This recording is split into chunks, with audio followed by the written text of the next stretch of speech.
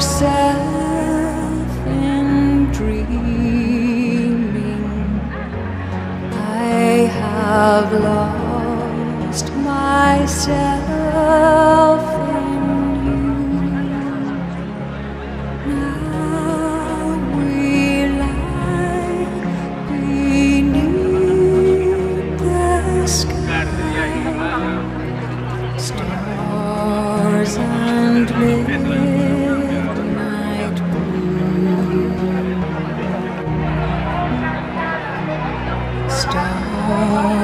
and midnight